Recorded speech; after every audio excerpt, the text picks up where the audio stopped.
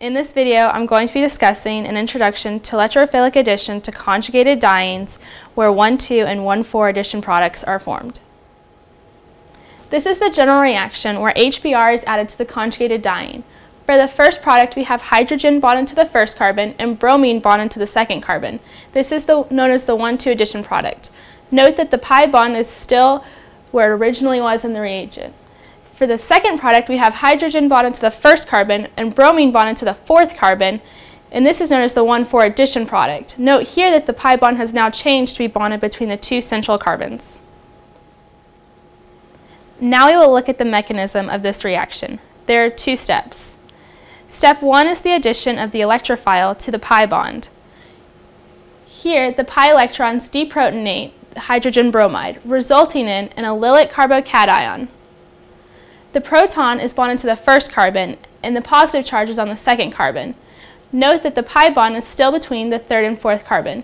Here's a resonance structure where the proton is on the first carbon, the positive charge is on the fourth carbon, and the pi bond is in between the second and third carbons. The allylic carbocation is a common intermediate for diverging pathways in the second step. The second step is the nucleophilic attack of the bromide ion on the allylic carbocation. Here, a lone pair of electrons on the bromide anion can either attack the second carbon or the fourth carbon where a positive charge is located.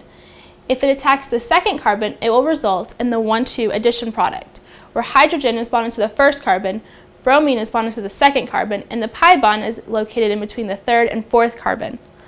Alternatively, if it chooses to attack the fourth carbon where the positive charge is located, it will attack an, it will result in the 1,4 addition product where hydrogen is located on the first carbon, bromine is on the fourth carbon, and the pi bond is in between the second and third carbons.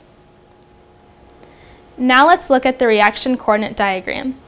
Here's the starting material leading to the allylic carbocation, which is a common intermediate en route to the kinetic and thermodynamic product.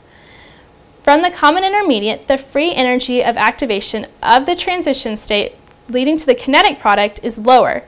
Therefore, the kinetic product forms faster the free energy of activation of the transition state leading to the thermodynamic product is higher. Therefore, the thermodynamic product is formed slower.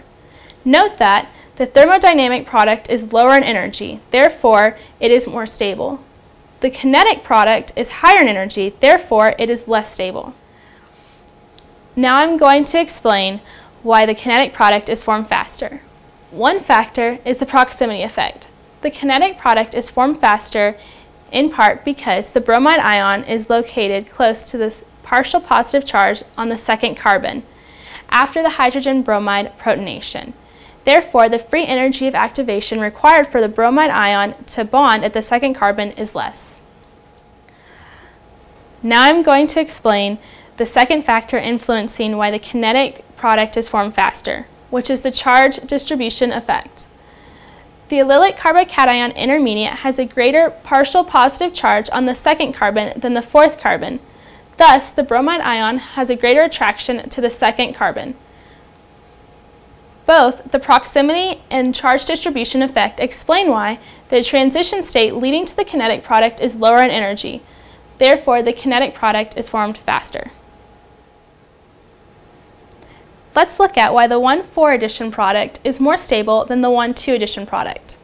The 1,4 addition product is more stable than the 1,2 addition product because the 1,4 addition product has two alkyl groups bonded to the carbon-carbon double bond, whereas the 1,2 addition product only has one alkyl group bonded to the carbon-carbon double bond. Since the more substituted alkene is generally the most stable, the 1,4 addition product is the more stable product. An important aspect of this reaction is that the product distribution is a function of temperature. At low enough temperature, the reaction is actually irreversible. As such, the form-product ratio is locked in, and since the 1-2 product is formed faster, it is the major product. In contrast, at high enough temperature, the reaction is reversible. Therefore, both the formed 1-2 and 1-4 addition products can revert back to the common intermediate, Ultimately, it results in the greater accumulation of the more stable product, which is the thermodynamic product. Let's look at an example that illustrates that this reaction is not just limited to the addition of hydrogen halides across a conjugated diene. Here, a bromine molecule will be added across a conjugated diene. If the pi electrons attack a bromine atom in the bromine molecule, it will result in, a, in the allylic carbocation common intermediate. Depending on whether the bromine anion attacks the second or fourth carbon determines whether the 1,2 addition product is formed or the 1,4 addition product is formed.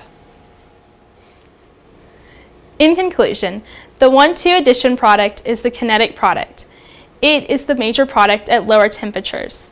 In contrast, the 1,4 addition product is the thermodynamic product, and it is the major product at higher temperatures.